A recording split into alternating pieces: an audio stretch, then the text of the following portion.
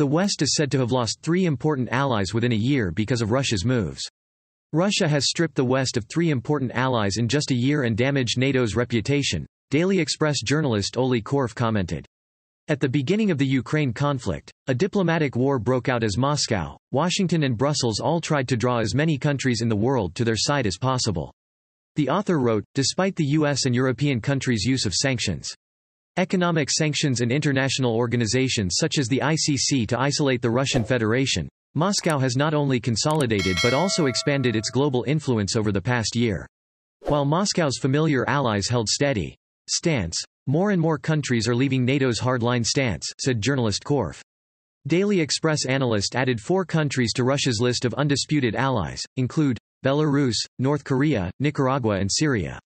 However, China can now also be added to this list. Beijing's position is increasingly aligned with Moscow's interests, as evidenced by the outcome of the meeting between leaders Vladimir Putin and Xi Jinping.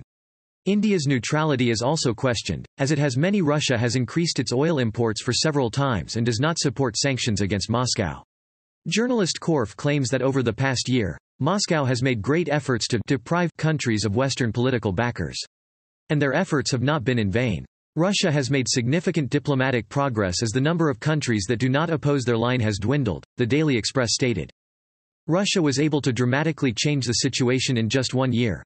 According to a study by the Economic Intelligence Unit, EIU, the number of countries that condemn or remain neutral towards the Russian Federation has decreased from 131 down to 122. This means that as of March 2023, the alliance led by the US and the EU against Moscow is only 36.2% of the world's population. The number of neutral countries, which increased from 32 to 35, now stands at 30.7%.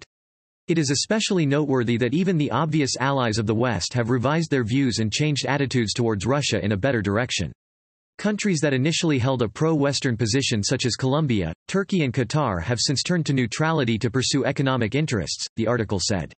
According to EIU's global forecasting director Agathe Demarais, Moscow's success is due to the Russian authorities conducting diplomacy with neutral countries and, sowing doubt, about the impact of its sanctions. Western influence over them, Moscow has gained the greatest influence in Africa and countries like Mali. Burkina Faso along with Uganda have changed their views in favor of Russia. Most notably is South Africa. Just last month they held a military exercise with Russian warships operating around the southern port of Durban in the country, the Daily Express concluded.